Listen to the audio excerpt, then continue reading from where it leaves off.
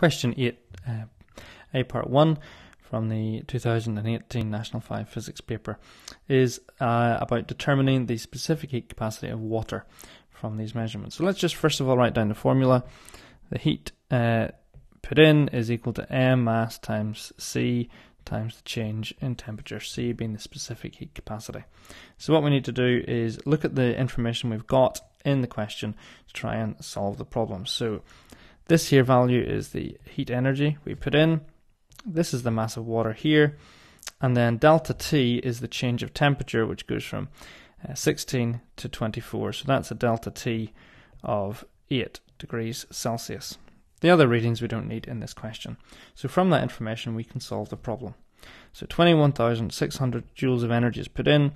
It raises 0.5 kilograms of water um, of a specific capacity C by a temperature of 8 degrees Celsius. And so from that we can determine that the value of C is 5,400.